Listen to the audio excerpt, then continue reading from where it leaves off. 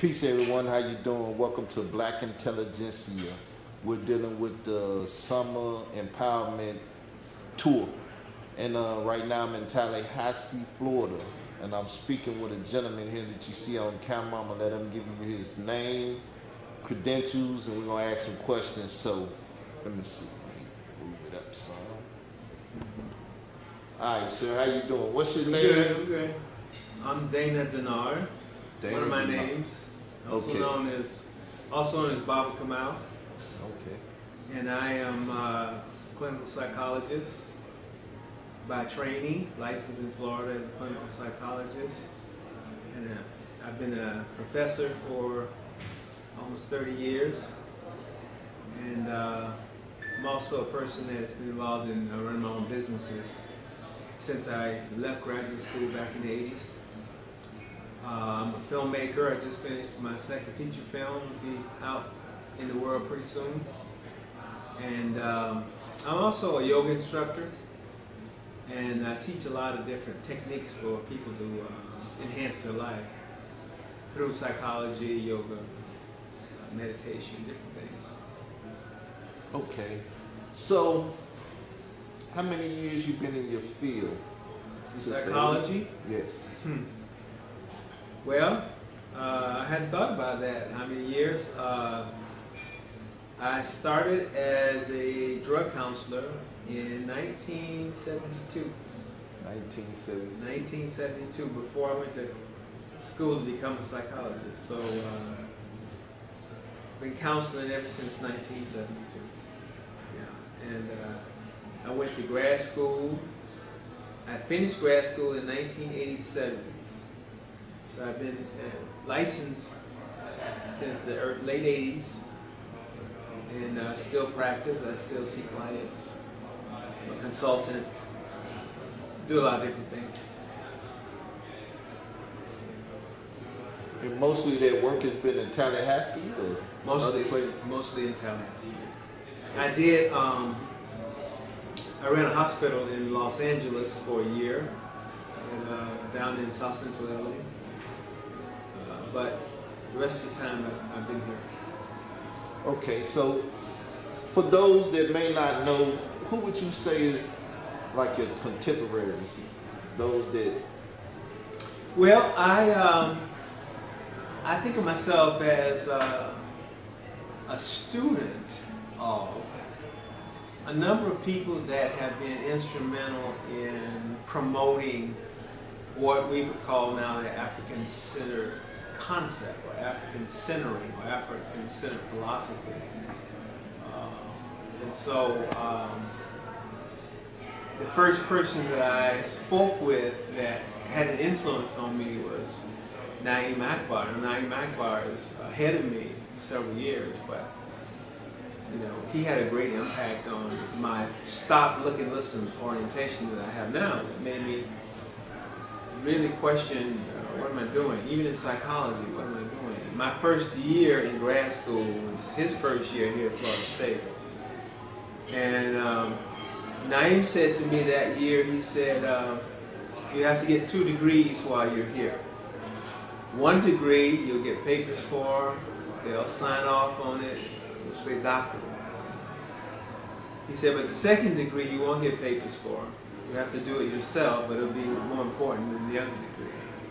That's in African history and culture. So he kind of put me on that path to study African history and culture. In doing that, I became uh, fascinated by a number of writers who were out there at the time, sort of pioneering this new version of it because it's been around since the turn of the century, but this new version really got kicked off in the mid 70s, late 70s, and right when I was coming into grad school. And um, so uh, I'm, I'm highly influenced by, I'll say, um, people like, uh, first of all, Dr. John Henrik Clarke was, uh, I consider him my number uno elder mentor.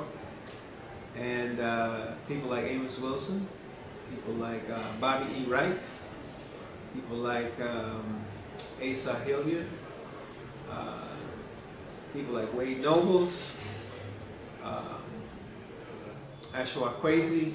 These are people that I met along the way that spent a lot of time talking to, influenced by, uh, kicking around different ideas. Um, so these are these are my comrades in arms. Okay, okay. So, in your studies and things, what was the main focus of the community that you really wanted to di- dive into and look into more than others? Like, if you could put it one, two, three, your top three things that you focus on or thought needed to be looked at more than others. Well, it's kind of uh, it kind of happened in stages. Um, see, when I when I was I told you I was in LA for a year. So when I was in LA, I lived there twice. But the second year I was running a hospital in uh, down in South Central LA, and um, the hospital was for substance abuse, and I had mostly black young people, crack addicts mostly. What year was this? This was like 1989. And uh, a lot of women in that program and their children. And um, so when I got there, one day they asked me to come and uh, run the group. And I said, okay. And so I did. And I asked them what they want to talk about. And a couple of issues came up, but the main one was suicide. And we did talk about suicide that day, but it did something to me. And I left that group, I walked out of there. Uh, really, that was the day that I found my purpose. And uh, shifted my whole idea about what I was going to do with my time for the rest of my life. Because I focused on the fact that here I was with this program with all these young people that they were they were just entering the prime of their lives. With all the potential and possibility of their lives, they could do anything. And all they could think about was dying. And uh, that just motivated me. And so I, I, said, you know what? I've got to raise soldiers. That's what I said. It's like, I got to raise soldiers. And I had someone here at the university that told me, so if you ever come back to Florida, I'll probably be needing to hire some people. So so I called them, told them, I said, I think I'm coming back. Uh, I got hired at FAMU. That's why I came back to FAMU, uh, because it's a transient population of young people who are seeking, and I came back to raise soldiers. That was the whole point. And so uh, when I came back, uh, looking at how I was going to interface with the community and what I could do, uh, I realized the most, probably the most important issue for us is that we are ignorant of everything. We don't have information about very much, and certainly not about our own history and culture. And I've been studying it, you know, now for what, probably 10 years at least at that point. So uh, the first thing we did, we opened a bookstore, and uh, I had like a little, a little room that would hold maybe 100 people. And so the first thing I did was open the bookstore. That was kind of like that became kind of like the information center in the city, at least for black people. You know, and uh, we still have a bookstore next door right here. I still have it. Okay. Was this in uh, conjoint or agreement with Wade Nobles' definition of culture? Well, well, um, we share a definition, right? Uh, which is much more focused on the psychology of a human being rather than the externalizing of it. You know, we talk about mostly we talk about culture as behavior usually. Like people talk about things like, well, it's how you talk, it's what you eat, you know. But these are all superficial aspects of culture, you know. Uh, what Wade talks about culture as a crucible of uh, information processing. That's what culture is. So, and we and we look at it as a response to essential human questions. Those essential human questions uh, start with definitions like what is it? First question is what? What is reality? Why do you think that's what reality is? How is it defined? Who defined that reality? See, so when we study our own people and our own dialogue about being on this planet, you will see a philosophy of reality that comes from African people. And it doesn't matter where on Africa you go. So we're not talking about uh, ethnic differences. We're talking about a core idea of reality. That's shared on all over this planet. And so when you answer that question, well, what is it? What is reality? That includes what am I as a human being. So like, what is a human being? Is it just because you have, you know, again, the appearance, you got two legs, you got two ears, you know, you got a, a certain statue, uh, you walk upright, is that what makes you a human being? No, we can always find examples of other things that can do that, so that can't be it. You can teach a bear how to ride a bicycle, like a human being, but that doesn't make him a human being, see? So there's something at the core of what a human being is. So once we know what that is, then it becomes um, how do you perceive in reality? So the second question is, you know, how do you behave? You behave in relationship to your perception of what reality is. You see? And that becomes what we call ritual and custom. Certain ways of behaviors we see among certain people, those people behave in those ways because of the culture it's transmitted. And we have, we even see with African American people, many times we see the behavior and people don't even know where the culture came from. They sometimes don't even notice it. You know. Would you say this brings They carry about, it on though. Would you say this brings about a solidarity between those who have similar culture or traits or characteristics from those perceptions? Well, well, culture collectively, which is answering those three questions, what is it? Or how do I behave? As a third question, which is why. That's what we refer to as morality or moral demand, right? So, unfortunately, one of our problems is that we keep operating out of our own moral demand and expecting everyone else to operate as if they have the same moral demand, but they don't. So we may ask the question, well, how could all those people go along with this crazy stuff, you know? And it's like, well, they're following a moral demand. Even if they don't notice, they're following a moral demand. So whatever we think is, quote, right or wrong is rooted in whatever we think it is and how we should respond. See, so those three together, that becomes the glue of any people. I don't care who it is. The people are defined by their culture.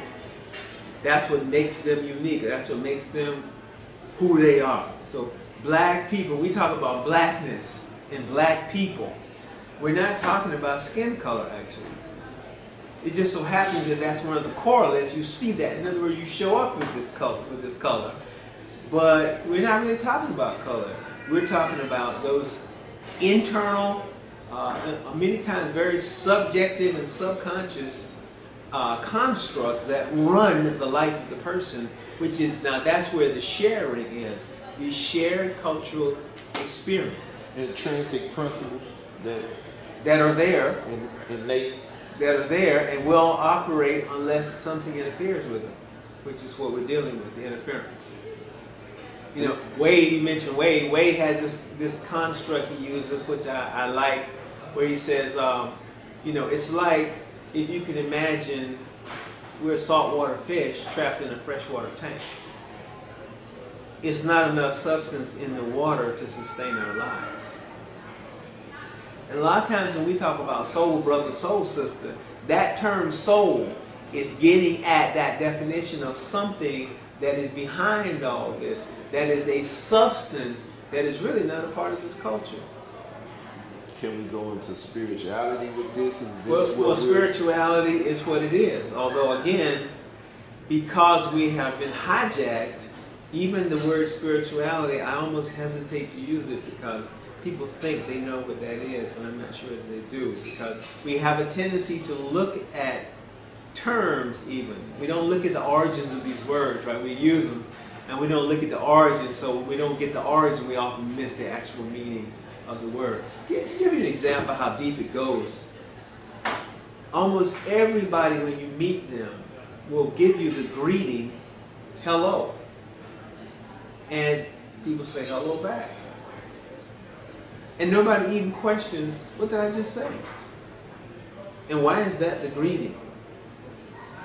We went to school, we had a so-called education, we heard about root words.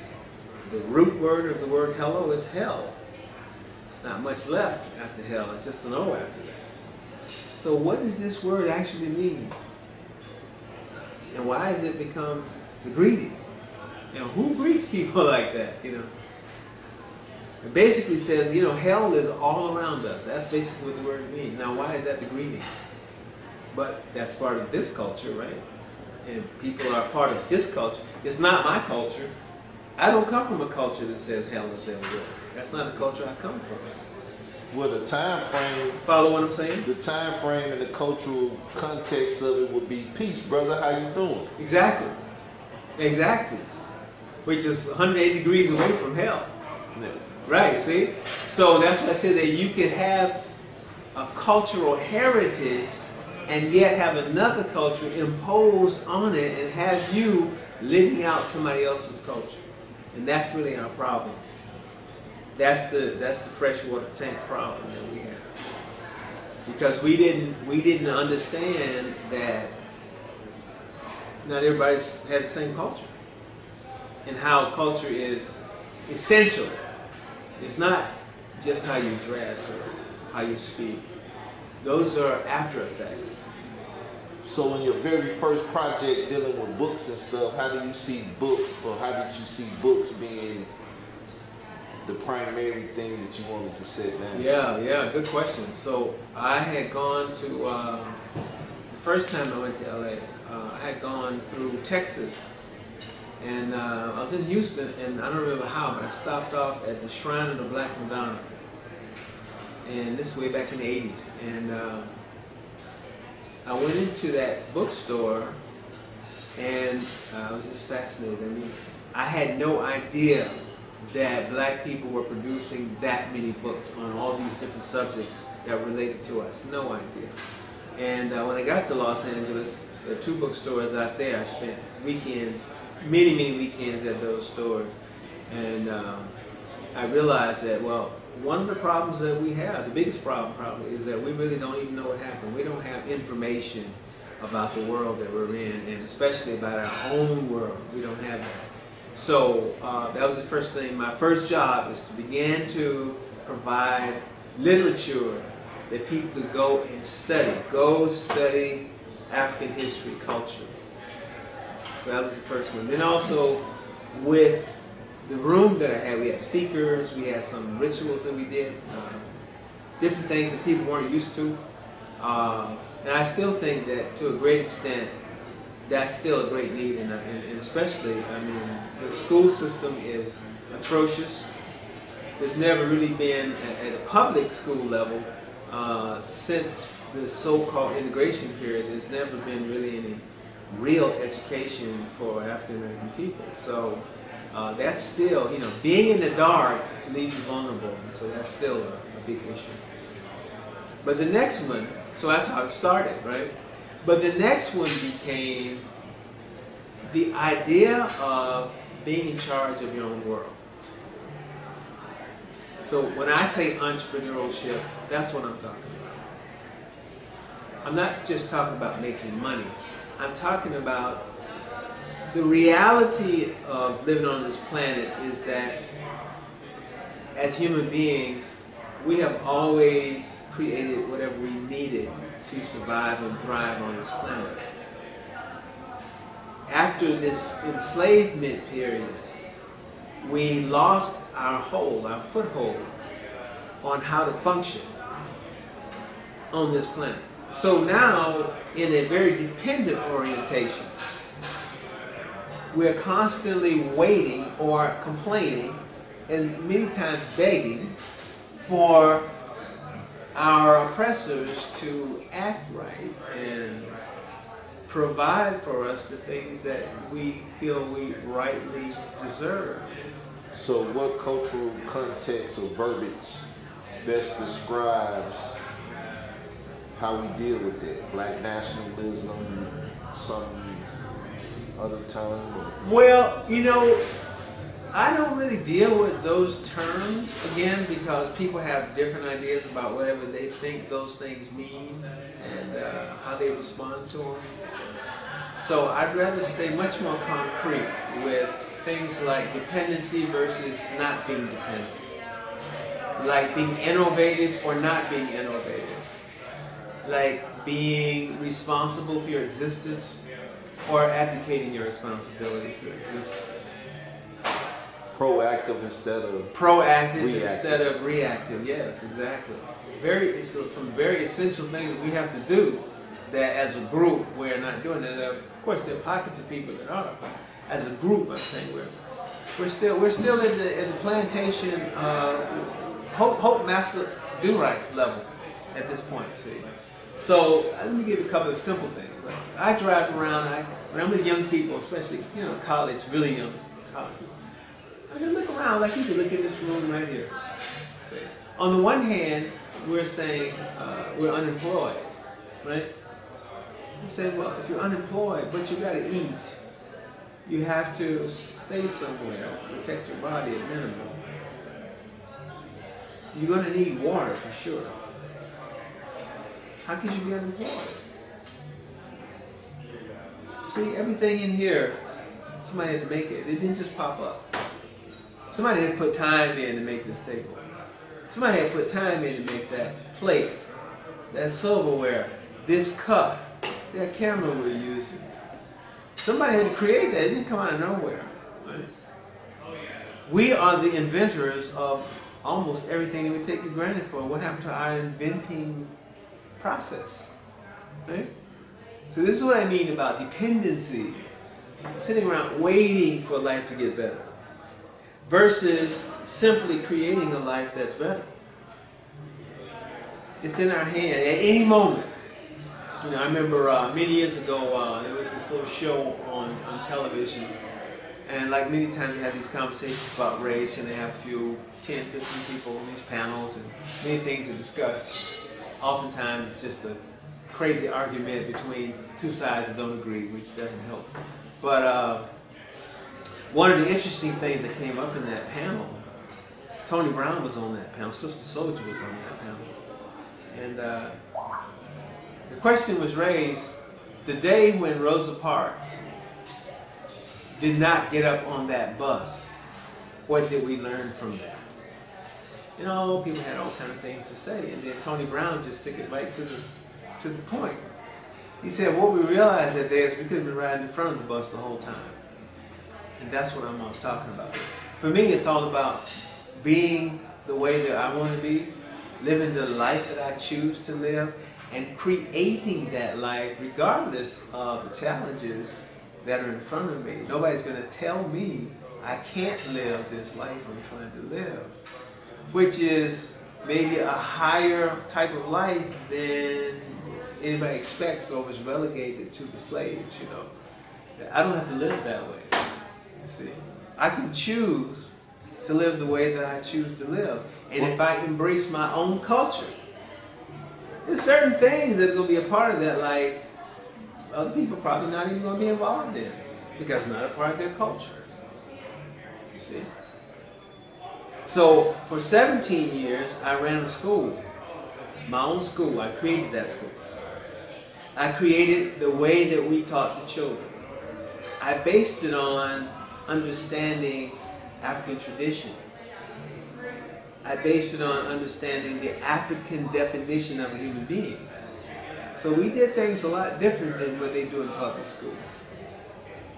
A lot of people were just were amazed at the performance of my children, yet they were frightened by the concepts that I used. I spent the first 45 minutes every morning doing nothing but rituals with my children. It didn't matter whatever the backgrounds were, we all did the same thing every morning, which included a little bit of meditation and yoga and different stuff that people don't know, normally do in school. So was this to bring about solidarity and having everybody comfortable with being the same and doing similar and I don't. I don't think. I don't think there's one explanation or one definition. I think it's once we once we understand this culture, and this culture is telling us that we are multi-dimensional. Then a number of things have to be done. Right? But again, the definition of an education, even what is an education? You know, in the African tradition, the education is a process of initiation into the discovery of one's true self. That's what the whole process is all about. And on the way to that discovery, which also means understanding your power. Like a human being is a collection of powers. Like to understand that. And what type of things help the youth arrive at this point? There, there are many things. There, there are many things, but what I remember even growing up in the black community when it was separate and unequal is that our teachers and, and administrators, they were all clear that what they were doing was social and spiritual. They were clear on that. And they approached us that way. So, for example, the idea of a student being considered disabled, unable to learn, that hadn't entered the world yet. We didn't have any of that. So we had no di learning disabled children. They didn't exist yet. We didn't have any hyperactive children when I grew up. Let me show you how deep it is. I was in fifth grade. That means I'm like 11 years old. All black school, all black faculty, in the hood. About 600 plus students in the school. Every day at 12.30, all the teachers got time off, 20 minutes, to go and do whatever they wanted to do. And they would usually go down to the teacher's lounge. So imagine, the whole school, 600 plus students, not a single teacher in any class. They're all down at the lounge hanging out for about a half an hour. It simply would tell one person in the class that you're going to be the monitor while I'm away. So you put your head down. You don't have to go to sleep. You can take, take a nap if you want to. But there'll be no talking for the next half an hour. And if there's a problem, I'll find out when I get back. And they tell the monitor, if you got to go to the restroom, just ask so-and-so. They'll, and then they would leave. So I went through that every day. Never had a problem. Didn't have no kid acting up. Didn't have no, I don't know how to stay in my seat. Didn't have none of that. A whole class of young people, a whole school of young people. That means all grades, from first grade up to sixth grade back in those days. No teacher, no adult supervising at all, and we supervised ourselves and had no problems. That's how far we have gone from where we were. That's culture. How can all of these students, all these children, know how to act with each other with peace and order without any adult supervision? That's culture. So in my school, we had to try to get all these children back to that understanding. See? So one of the things we did, we did these rituals we did, we also did this collectively in a circle, in the group. So at one point I had 65 students so in the morning, they'd be outside like a huge circle, right? And all the things we did, so you're, you're teaching social skills, you're teaching young people to respect older people, and you're teaching teenagers to respect young people. So for example, we would do we would do proverbs every morning. We did proverbs. We did proverbs. Say, okay, well, what does this mean? What, what's what's the message here? So, you know, 15 year olds got to listen to an 8 year old description of whatever they think. It might blow your mind. Right? So we had great respect among our students between them. We didn't allow no nonsense, we didn't allow no name calling. We simply let them know, now here is a different world. I would have children come from public school and maybe the first couple of weeks they really had trouble adjusting because you know they weren't used to peace and they come in there acting crazy, I would sometimes literally take a child in my office and I would say, do you see any white folks in here? No, sir. I said, well then you know you're in a different place, don't you? Yes, sir. Okay, we don't allow no foolishness up in here. So make an adjustment because you're not where you've been. Sometimes that's all it would take. Click, that kid would instantly know what that meant. I ain't got to do no long explanation about slavery, I ain't. I just got to me look me and you. Let's let's deal right now, soul to soul. It's not even about the fact that I'm the adult right now. It's about one human being to another human being, soul to soul. You're in a different world. Act like it. That's all it would take. Some of them take more, but most of them, that's it. By the time these children spend this time together, they have a synergy that also operates so that they feel comfortable receiving criticism from their peers. No, don't do it like that, do it like this. Also giving a hand to their peers. We didn't allow nobody to mock anybody if they didn't get it. But we also, definition, we also told them that they were geniuses and we gave a definition of a genius. And because of that, and because they had no reason to doubt it, when they had difficult situations, they simply worked on it, increased their uh, frustration tolerance, we call it in psychology. Because now that they had a definition that they could buy into, uh, if the problem was hard, they would just simply work at it. Like, I know I can get this, I have to. And we would tell them, oh, don't worry, just keep going, you'll get it. And they would, of course. So there's a, a reciprocal relationship there that's missing in public school. A lot of our children go to public school, and right, just because they show up right away, uh, they are perceived as unable to operate, unable to learn, or maybe they speak.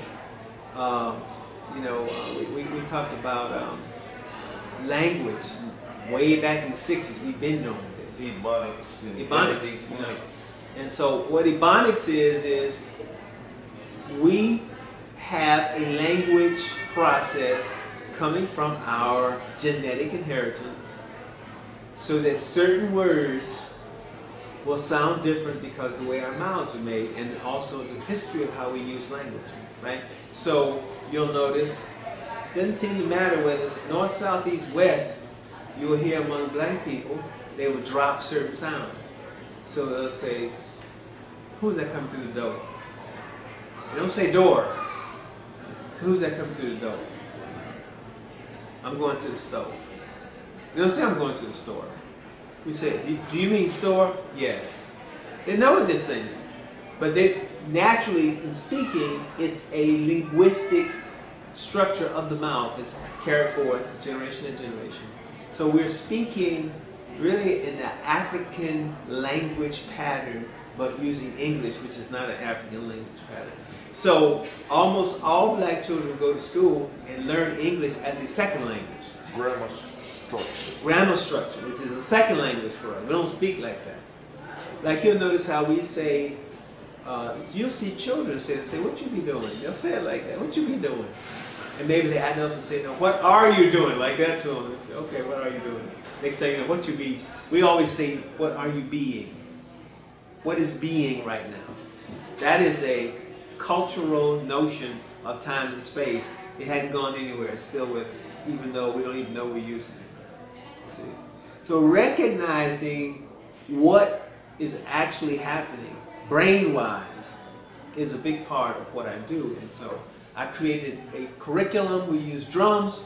We used uh, we used a different method of teaching language and math, which was it's sort of like if you understand about dance, like how do black people learn how to dance, right? It's something we're all very familiar with. Black people do not learn dancing step by step. That's not how we learn dance. You look at the person dancing, you incorporate the moves into your brain system, and then you produce those moves holistically all at once. Not once, not one like this. You know how they have straight stare and then uh, one, two, and then move your foot. You know, that's not us. That's not how we do it. Our brains are not informa- are processing information that way either. Right? So what happens is the public school system, because it's stripped down to these step by step by step approach, it actually slows down the brain of children, and especially black children. So when we say, well, Johnny's having trouble in school, we'd rather put the problem on Johnny say he's got a problem rather than realizing the method is all messed up. It's not the right method. So that's what we did. All my children, my children were two, two to five grades ahead of public school. Is this methodology dealing with what they call like meta programs today? How people, once again, perceive some people can deal with sameness better than others. Some deal with difference better than others. Some people have a ability to deal with more than just sameness and Yeah. difference once. Yeah, yeah. Well, I mean, I, again, it's that's a way of entering an understanding of what it is that we're doing, but it's a little bit more complicated because it's really based on an idea of a multi-dimensional self, which is a frame of reference that's not even part of Western culture. Which goes back more to the invisible, which is It goes back to considered the invisible. That's the right. spiritual Yes. in layman's terms. So in language term. And so, uh, for example, emotions, we don't think of emotions as spiritual, but that's spiritual.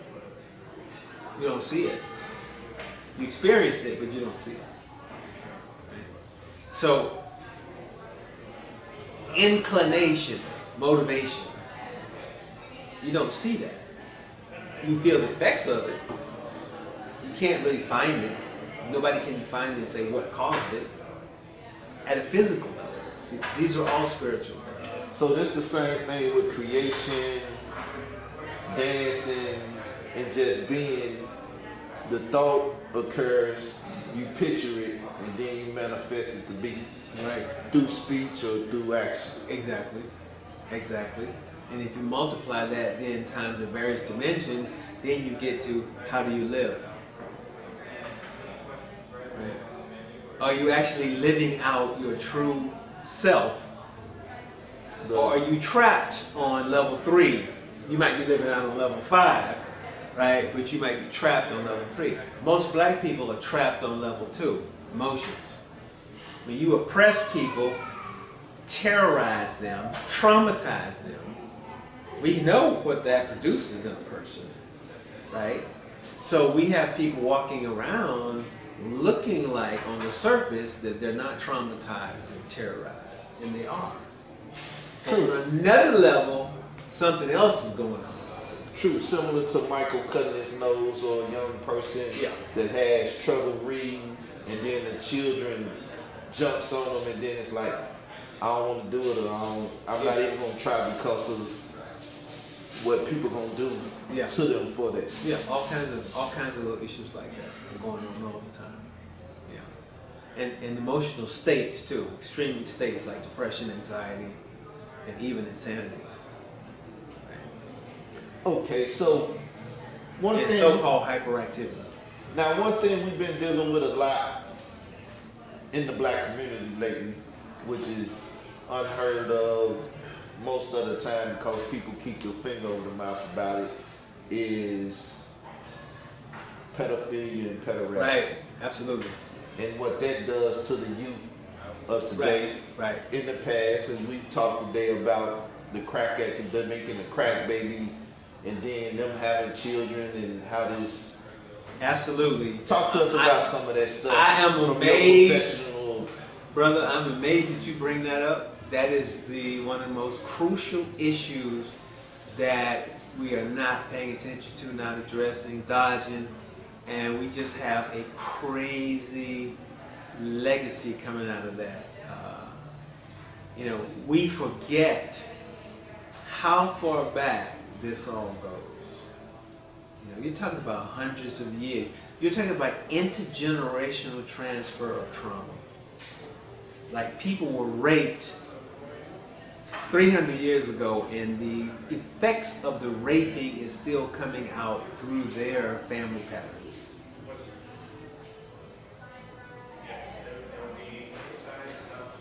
And that's what I meant by that multidimensional self.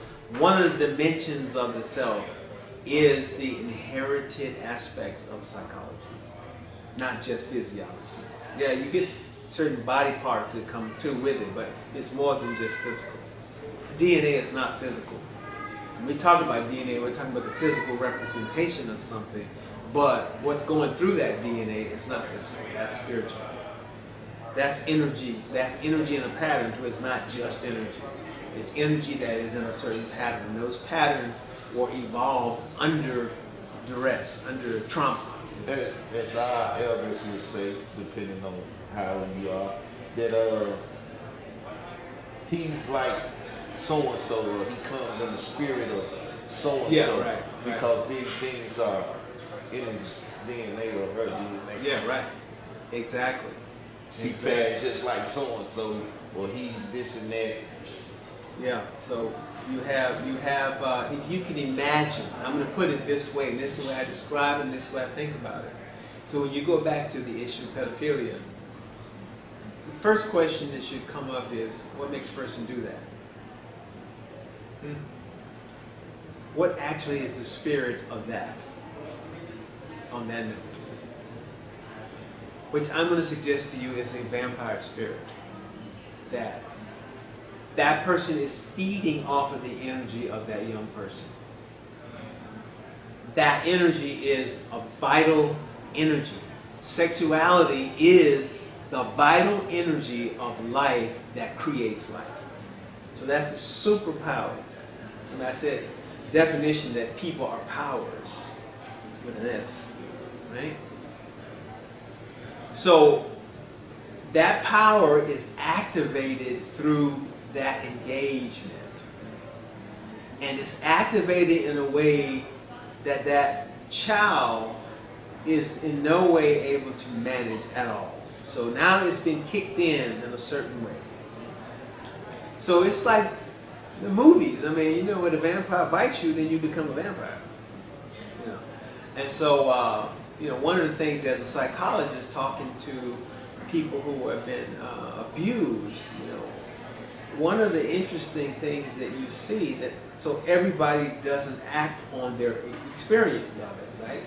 So, but amazingly, you'd be surprised the number of people who have been abused as children sexually, who then are tormented in their minds that they are going to become abusers, even though in their heart they have no intention of doing anything like that. But it's on their mind. They're constantly so they be walking around.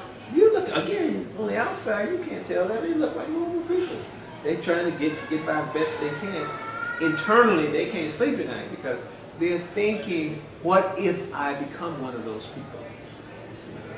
On their mind. It's on their mind. You see. So we have, uh, you know, we have uh, failed to acknowledge that a lot of this came out of the church. You know, uh, the big deal with Pope, the new Pope, how he got the new Pope, because the old Pope was under pressure because there was so much of that going on in the Catholic Church, and uh, nobody nobody could deal with it. The Catholic Church couldn't deal with it. The Pope couldn't deal with it. The bishops couldn't deal with it. A lot of them were part of it, right? And so uh, we we are so far locked into all of this matrix of lies, so far in it, that we can't even break and say, how do you explain that the Catholic priest is the rapist? How do you explain that? This person supposedly is like all in touch with God and very religious and, you know, pure. He's the actual devil. Okay, now, it'd be one thing if we were talking about one. We're not talking about one. We're talking about hordes of priests that abuse children. How do you explain that? What is the cause of that? We haven't, we, they haven't stopped and really faced ourselves and say, we got a problem that we need to look at. So you see, like in my type of work, um, it comes up all the time because that's like one of the main questions I ask people. You know, I go through my list. You know, have you ever had hallucinations? You ever saw something that wasn't happening or heard voices? I go through all that. You ever been molested? You know, it's just a basic question. You know, numbers are skyrocketing. They're skyrocketing. Okay, so now let me ask you, cause I don't know how much you get around and hear stuff on the internet, but there's been a situation in the African American community caused by same Catholic like situation with Afrika Bambaataa, Zulu Nation, Planet Rock, hip hop. They said this man was a pederast and he was tormenting young men throughout the Bronx River projects for 46 years or so. Mhm. And now it's been coming out in the community. That's why we've been talking about it more over the internet and different things and Mhm. stuff. Tell us how you would see this dealing with the, the spirit and the minds and the hearts of the people of the community.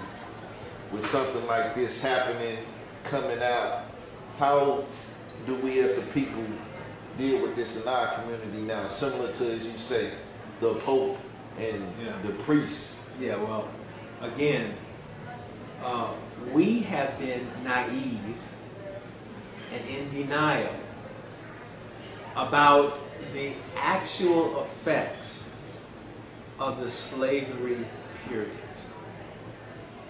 We're just in denial. We are in denial about the fact that the way that we see the world is really through a pair of eyes of a liar that have been given to us to see the world so that we don't see what actually has happened and therefore is happening. That's the first point. That every time we want to ask a question about our behavior, we fail to put it into context, except the context has been handed to us by the slave master. Right? And that's why I said we won't even ask the question, well, what is the relationship between being religious and being a pedophile? There's a relationship. And what is the relationship between being a Christian religion and being a pedophile? That's too scary for a lot of people.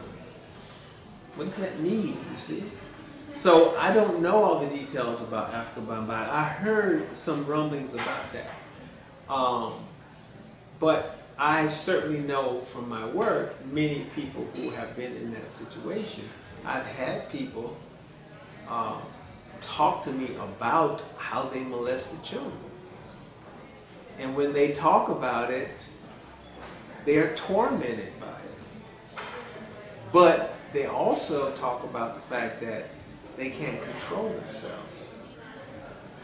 And I'm saying, understanding a human being and how power works through a human being, I understand how that works. And it's very much like if I put it on a physical level and say, so and so had sex with so and so, it doesn't matter what age are right now. Say, okay, and they had syphilis, and then next thing I know, the person they had sex with also has syphilis.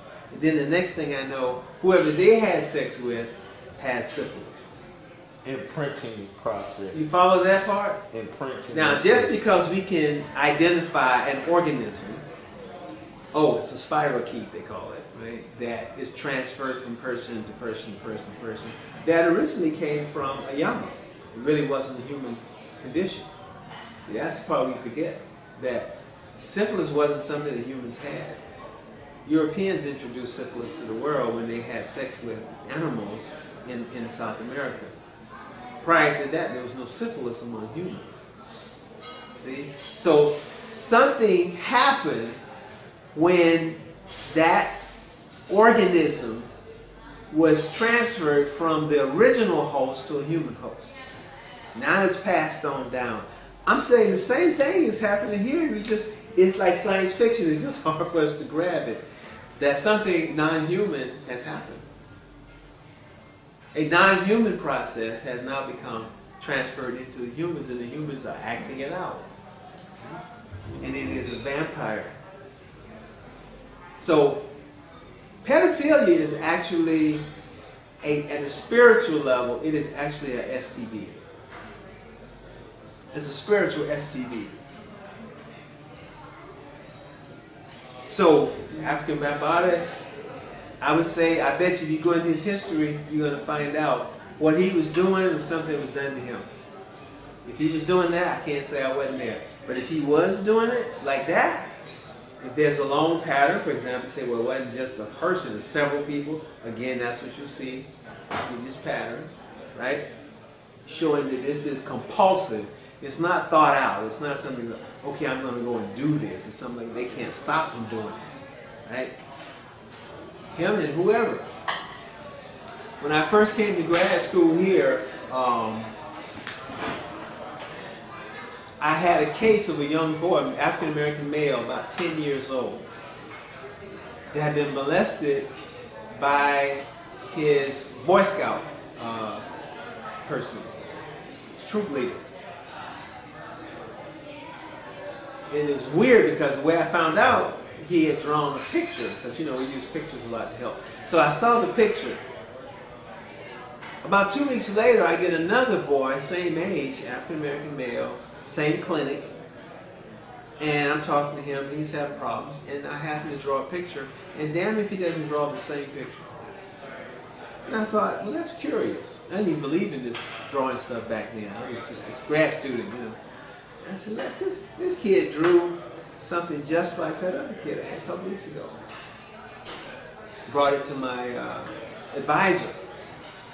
The advisor says, hmm, I think they live in the same community. Turned out that they did.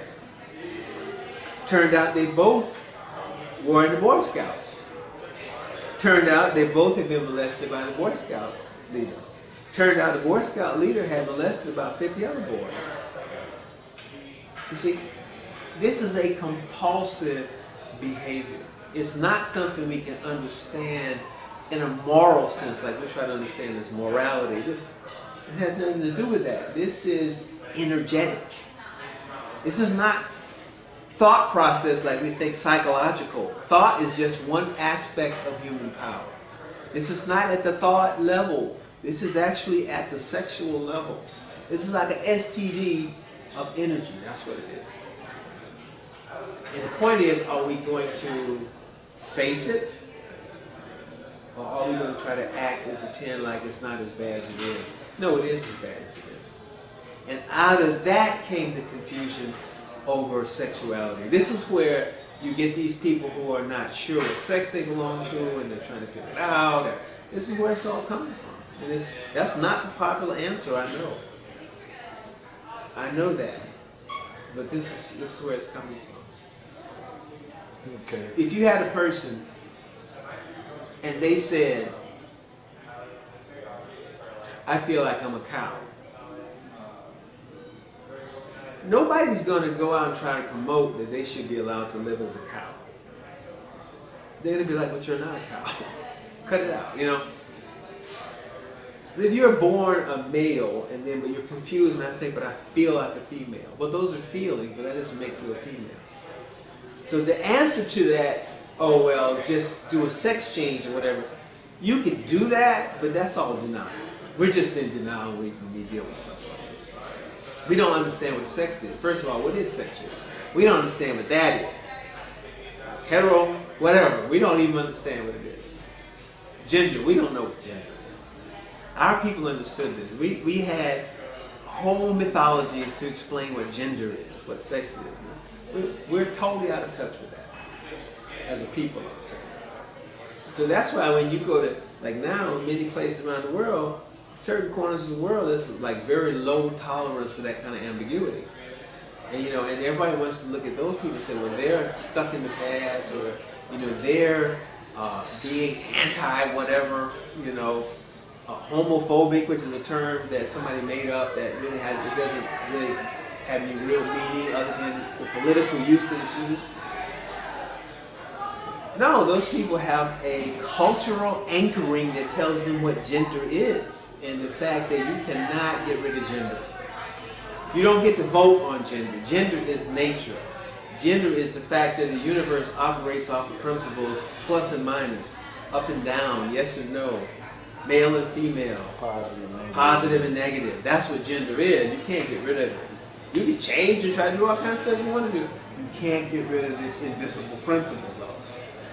See, but we're far from that. We don't. We don't have our definitions anymore. See, so how can we deal with African Bambaataa and this madness when we don't even know what sanity is anymore? We think sanity is something you can vote on. That's one of the things I learned from studying African cultures. You don't get to vote on reality. It's about understanding and not voting. on It. What is it? Tapping into it and using Tapping it. into it and using it, being being aligned with it versus against it. Right. Alright, so I would like to ask, like, sum it up and everything, but before summing it up, do you consider Islam, Christianity, and things of this nature. That's a Dr. Bean once was saying, uh, out of African spirituality system that's been tainted and corrupted? Right. So let me say that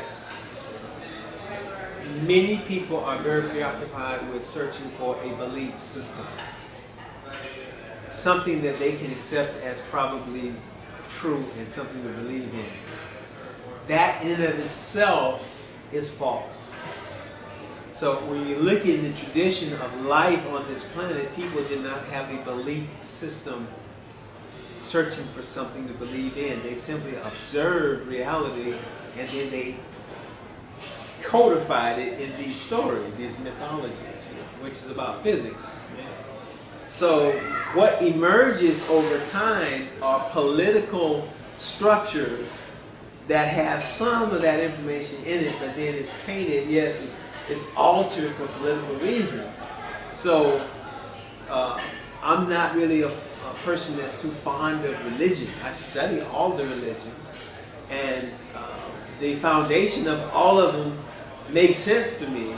But I also understand that uh, much of the truth, you know, we talk about esoteric versus exoteric traditions, where people think that the things that they're taught is what the religion is about, when in fact, it's about a mystery of information that's underneath what's being taught, see? So if you don't get that, uh, then you're going to miss the point. And so uh, the way that it's taught, it's often taught by people who don't get it. So it's, it's not taught that way. So something as simple as, uh, you know, it doesn't matter where we, we, we could go, and I did, you know, find the history and the origin of all these different things, you know. So, but like uh, at one point, in, as a young man, uh, I started reading the Bible. You know, I grew up in a Judeo-Christian tradition, and uh, I started reading the Bible just to understand it. And I was amazed at how a lot of it wasn't what I had been taught in church. You know? And uh, something as simple as the book of Genesis, which is the very beginning of it, by the time you get to chapter 6, Genesis 1 through 6, there's a whole lot of stuff that explained about this planet on in those chapters, and yet none of that really was taught in the church. When it, and when it says in there, and people know that it says this and still don't see it, and it says that the Lord God had told Eve and Adam not to partake of this particular tree, and the snake came and broke it off for her and told her, hey, he's lying. He's tricking you. Because if you partake of this tree, this tree of knowledge, it tells you right this tree of knowledge. If you take this knowledge, then you will become as God to know good and evil. What is the deal there? The deal there is that there's something there that is awakening this human being. And once a human being is awaked, awakened, then there's a revelation, and the revelation was that the God, Lord God, that had been ruling over Adam and Eve was actually an evil God. That was the whole point. If they didn't have the knowledge of good and evil, then they could never distinguish what's evil and what's not. And so they didn't know that the God that was ruling over them was actually the evil God. Hello. Now I went back and said, where did this story come from? Go back to the Ethiopian Coptic text before the Romans got a hold to it, and before the church fathers changed it and all that. In that book called Adam and Eve. And in that book, it's just straight up raw, welcome to hell. Now I found out why, the- why hello came from. Like this, this place. Right? So that we're trying to get out of here. We're supposed to get out of here. We're not supposed to be comfortable here. We're supposed to be growing ourselves up as gods to get out of here. And that is what the teaching is. That's not what they teach in church. I don't care which which tradition. So Yeah, he's right. Dr. Ben, of course, is right. Dr. Ben being way back, being a person that looked into the origins of all these things. And that's the only way to get there. That's why I had the books for If you know origins, then you can see the tricks. You can see what happened. So I go back to origins, go back to language. Why do we say what we say? What does it mean? If it's in Latin, why did the, why did the Roman Catholic Church use Latin as its language when it wasn't the language of the people? The people, they were, they were Italians or Romans. They had a language and it wasn't Latin. So why did the church fathers use Latin? And why didn't they only speak it in the church? Etc. There's a reason. It didn't just happen. There's a reason. Right? So until we learn these origins, then we're stuck with trying to believe in something I tell everybody all the time. I mean, you come up in the morning and get up and you go out into the sun and you feel the rays of the sun and how it feels. You look around and you see all everything in nature is oriented towards the sun bound to the sun. You don't have to believe that. It's not about belief. You have an experience. Is sunlight traveling through space, and is it taking eight minutes to get from the sun to the earth? Is that true? Is it really 80,000 miles away? And so these are all things that we It's just, the earth around the flat. you know, we, we take these things and we don't actually stop and say, well, let me investigate this. Is a star, you know, a star is 150,000 light years away. Really? Is that true? Well, I'm over here in my neuropsych class, and they're talking about how the eyes work and how light has to pass through that little circle, pupil, and stimulate, interact with nerves, then send a signal to your brain that there's something out there. So if I'm looking at a star and I see the star, and my brain is telling me there's a star, then the star is not far away at all. The star is in my fucking eyeball. Because it's got to be in there to, to, talk to my brain, to let my brain know that I exist. You see what I'm saying? And now we're into the problem of time and space, right? Like, is it really time at all? Or is this space at all? Or is it just that we just accept this stuff and just go on? And even though we go right on Sunday, and even though our ancestors told us there's no time or space, there's only the infinite now. That's it. We go and read that and leave there and still believe it's nonsense then that teaches us to have the concept of the limited self. And that now we're separate from the God. We can read about the God in a religion rather than imbued by the God, to become the God, even though the religion tells you that's the journey. That's where we're supposed to be headed. And they asked, and they asked the master, uh, you know, when, when he, excuse me, when the master asked the people that were stoning him, why do you stone me? Because of these great works that I do. And they said, no, not because of the great works that you do, but that you, a man, claim to be God. And the master said, but I told you it's written in your law that ye are gods. Are you getting mad at me now when I tell you ye are God? I'll tell you we are God. We are it. We just have a very limited view of our own reality because somebody else redefined it for us. Yep, I am that I am. I am that I am. Yes. To embrace that, I am that I am, is to leave slavery. Once I know that I am, then nobody can hold me back. I'm not that. And I'm not that. I am whatever I choose to become. I am the power behind it. I am the process that causes it. I am the substance of the expression that presents itself as it. I cannot be separated from that. As soon as we know that and we live that, nobody can hold us in slavery.